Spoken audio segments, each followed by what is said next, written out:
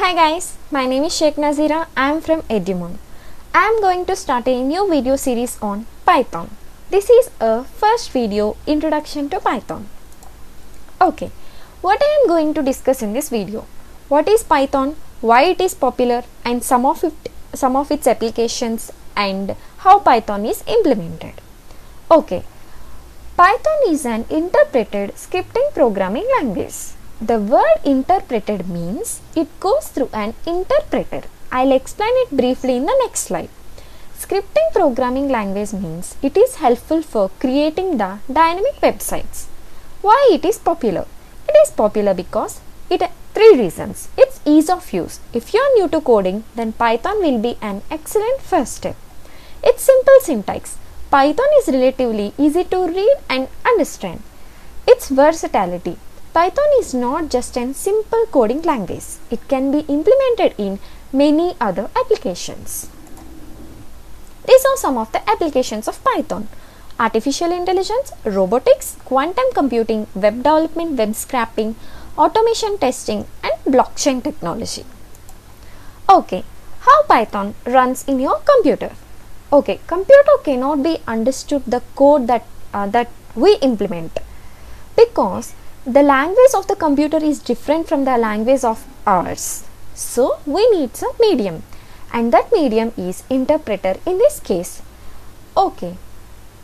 When I am using interpreter, why I have mentioned compiler here? Because Python is both compiled and interpreted programming language. Okay.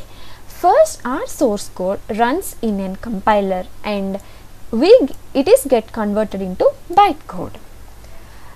This is this all these thing happens before the runtime. And what is this bytecode? Bytecode is something that is understood by our computer.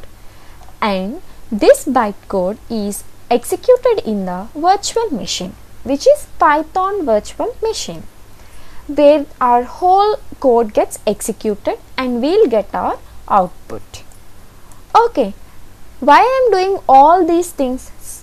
Because these, this interpreter provides portability to our code. It can be implemented in any operating system irrespective of its future. So, in order to provide portability, we use interpreter for an Python, for Python programming language. Okay. These are the steps that I have explained earlier. If you want to read it, then you will get a brief idea. So let's get started by installing Python. Python can be installed from your respective browser. It can be Chrome or any other browser. You can go to python.org, the, the main website of the Python and you can install any version of the Python. Uh, it is better to install the newer version.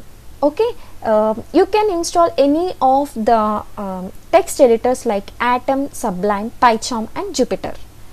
I am going to use Atom in all the videos. So that's it for today. Thank you.